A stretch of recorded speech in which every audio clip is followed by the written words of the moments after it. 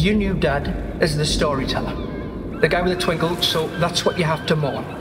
So the plan is to gather all the driftwood, make a pyre nearby, we lay at the top of it, set him alight, gather around, and we all just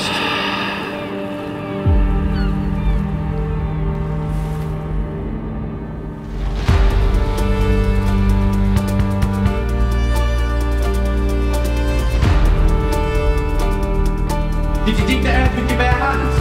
Did your fingers bleed?